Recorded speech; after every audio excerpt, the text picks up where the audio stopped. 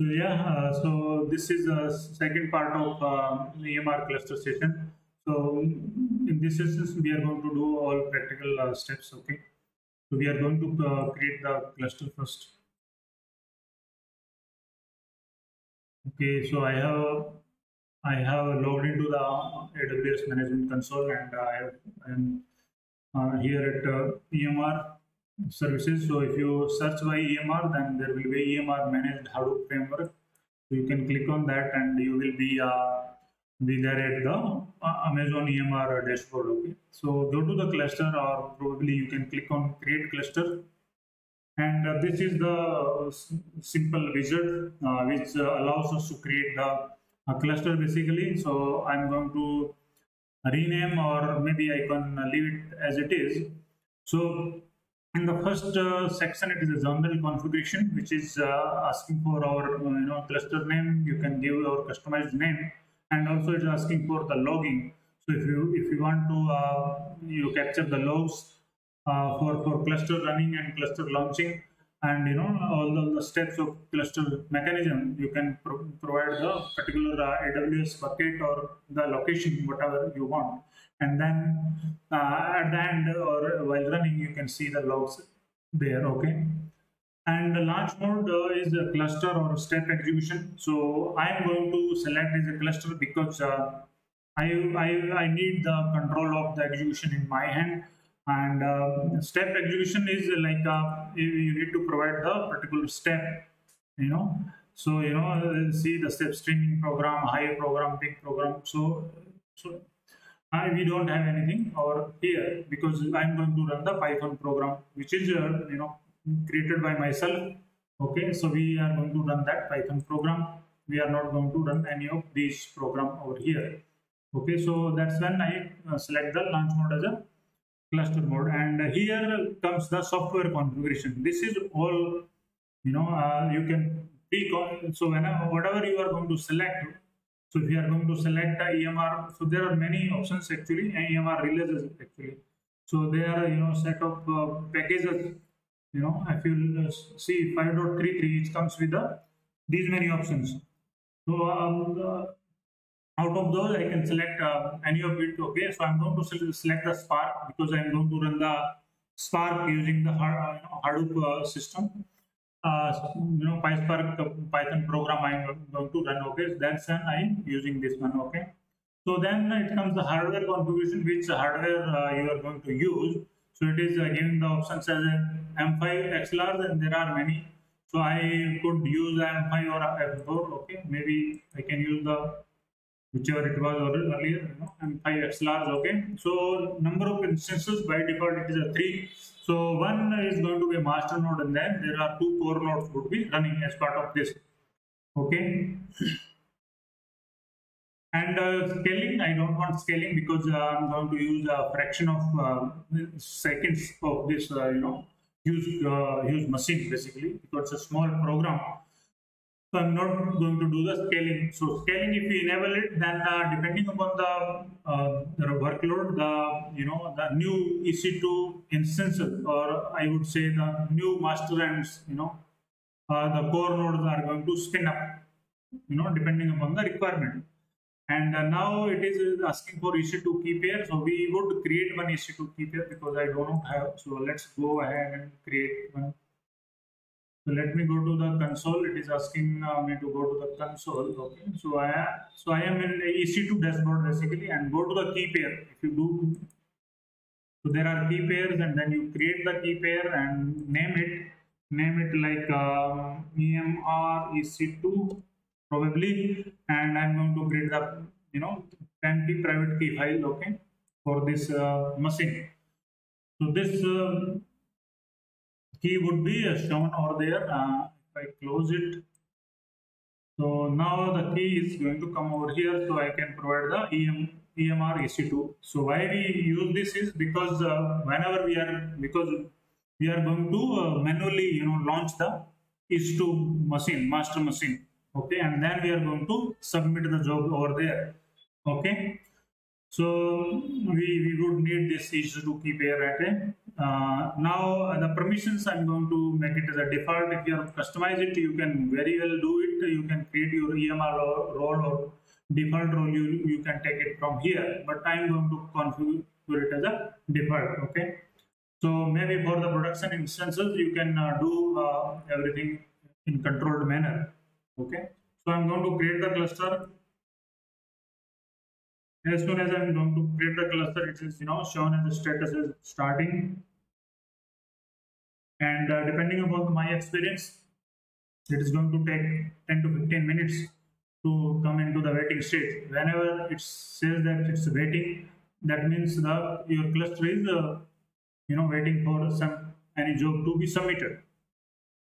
Right so this is in starting state so uh, that means it's going to you know launch the ec2 instance and you know uh, prepare the uh, prepare the machine for up and making it up and running so that we can submit the job okay?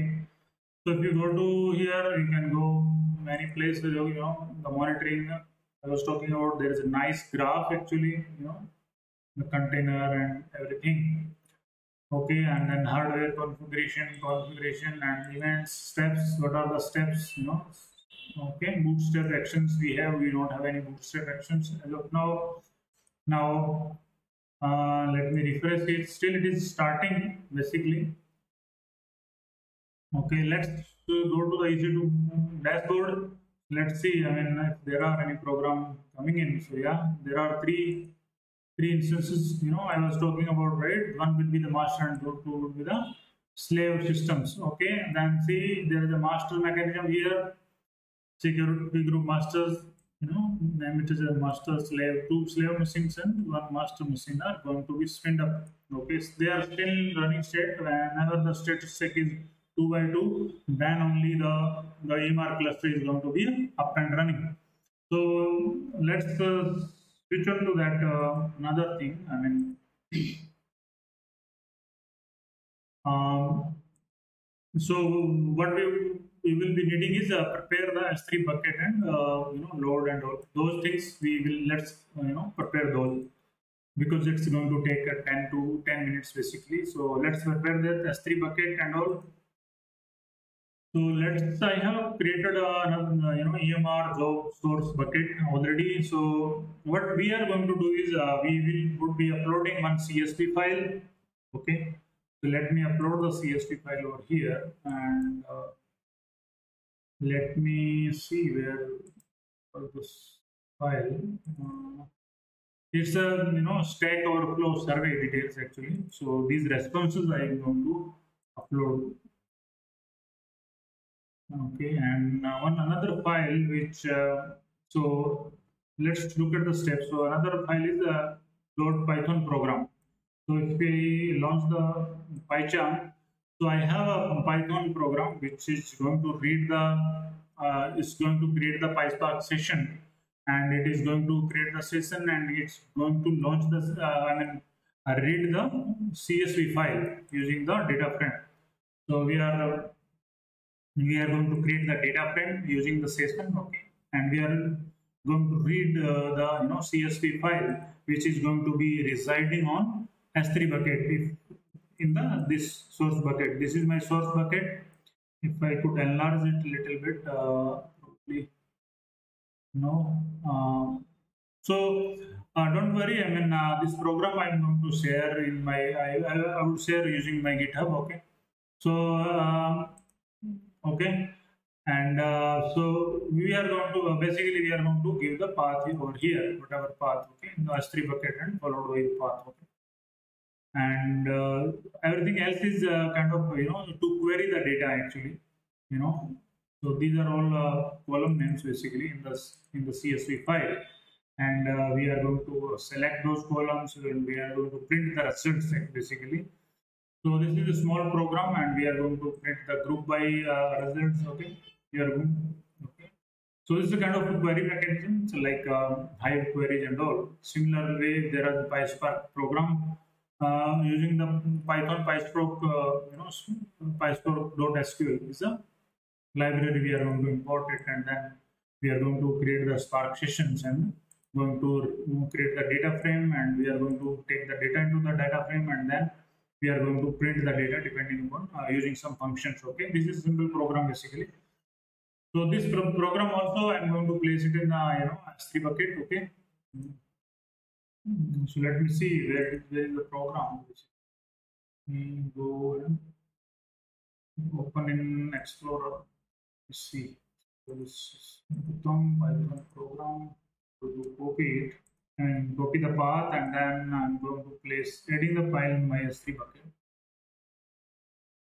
So this is my uh, PySpark uh, uh, you know program and then I'm going to upload. So these two files I'm going to upload and uh, let's see where are we on EMR cluster and see the EC2 instances basically. Uh, yeah, these are up and running. 2 by check is passed and all the machines are ready. But still, I mean, I think uh, you go to the cluster and the cluster, it's still in uh, probably running mode where it is running. So let me uh, let me uh, do one thing. I mean, uh, we are so okay. So we need to prepare the PPK key to launch uh, into the you know machine. So if you have PuTTY, then you go to the PuTTY and there is a, another software which comes with PuTTY installation is PuTTYgen. So using the PuTTYgen, we are going to create the PPK key. You know. So we have PEM key and we are going to create the PPK key. Okay, we are going to load it. So let me do all files. Uh, select the EME. This PEM key, right? This one. I'm going to select and I'm going to save as it as a private key and I'm going to name it as a EC2 machine PPK. Okay. I saved it. Okay. Now I'm going to close this. Herein I am going to go to the PuTTY, open the PuTTY. Okay, because it's a Linux machine, therefore we are using the PuTTY. Now see the master machine. So we are going to hook up to the master machine. Let me see which is the master one. So first one is the master one. Okay. So click on it and you would be having, uh, if you click on connect, so you would be, um, you know, uh, let me not do this one basically. And go to the EMR cluster and I'm going to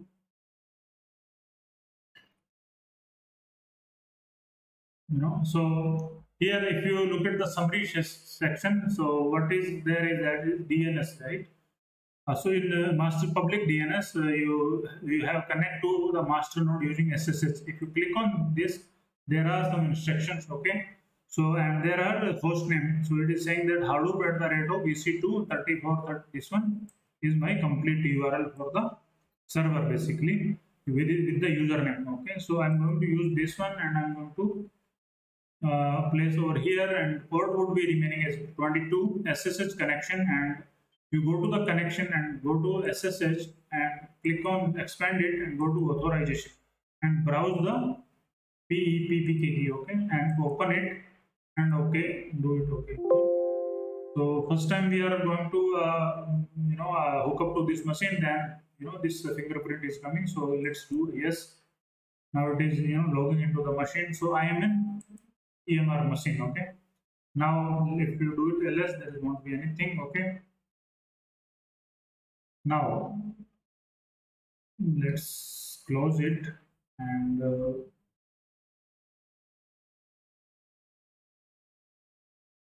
so it's getting right. So, so the the cluster is in waiting state. Okay, and uh, it is waiting for the job to be submitted okay basically. So what we but we also are going to submit the job now.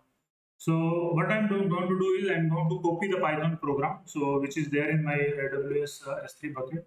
So aws s3 cp s3 column uh, double slash and uh, my this one? Not this one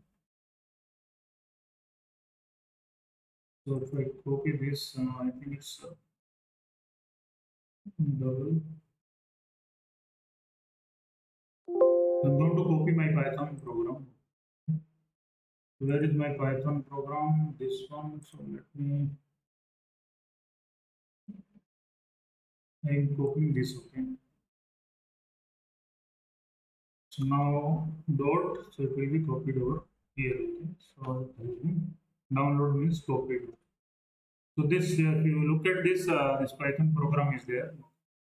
Now the final step, if you look at the steps, we have done everything, create a cluster, preparing the S3 bucket, load the data into the S3 bucket and load the PY file into the S3 bucket and then again we have launched the machine, you know, master machine EME, EMR master node machine and then, you know, load the Python program to, you know, from S3 to the EC2 directory.